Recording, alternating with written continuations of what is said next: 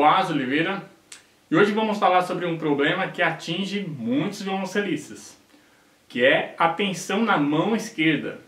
Eu venho ministrando muitas aulas particulares e eu percebo que muitos alunos têm a tendência de tensionar a mão esquerda. E existem algumas maneiras de eliminar essa tensão. Já deixe seu like para nos ajudar e vamos nessa!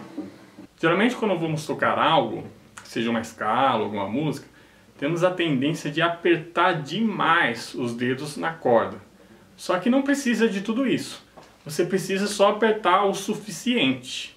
E por que tensionamos? Geralmente porque apertamos demais o polegar aqui, ó, atrás. Então acaba tensionando muito a mão. Vamos fazer um exercício para pressionar apenas o suficiente. Então você vai tocar uma nota longa. Estou tocando na corda Sol, mas pode ser em qualquer corda. Vou começar com o primeiro dedo. Eu vou descer ele de encontro à corda e vou apertando bem devagar. E o som vai chegar uma hora que vai falhar, né? E depois dessa falha do som, eu aperto um pouquinho mais ainda, aí eu começo a escutar a nota. Esse vai ser o ponto que você vai executar a nota. Não mais do que isso. Vejamos.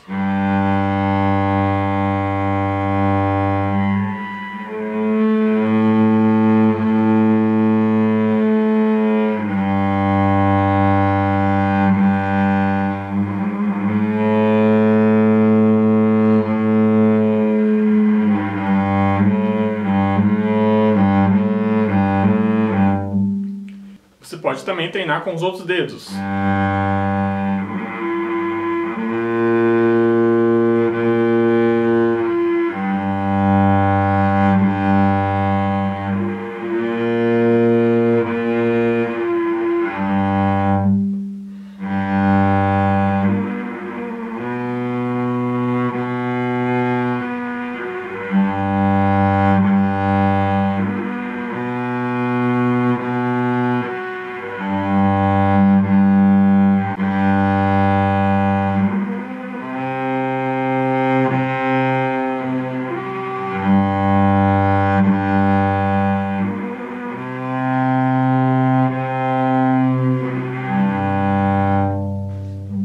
Outro exercício seria você executar os mesmos movimentos, só que sem o polegar.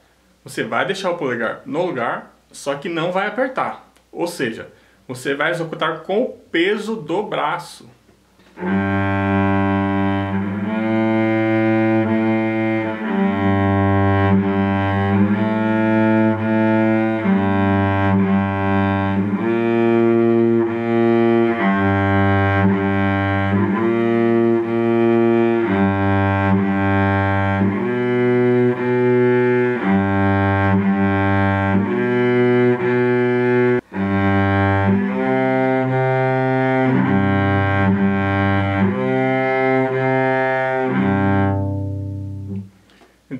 Executei com o peso do braço e não simplesmente apertando com o polegar.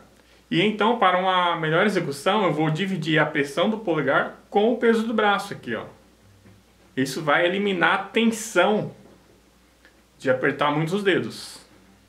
Você pode também executar esse movimento para pressionar com o peso do braço e não com o polegar.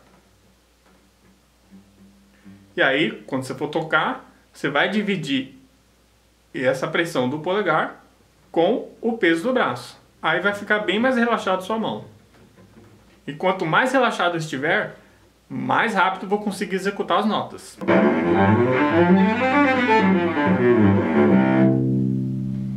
Essas foram as dicas para você relaxar a mão esquerda. E foi sugestão do Lauro Quadros. Se você gostou do vídeo, deixe seu like, se inscreva no canal, compartilhe esse vídeo e também deixe sua sugestão nos comentários que pode ser que ele seja de tema para o próximo vídeo, ok? Muito obrigado e até o próximo vídeo.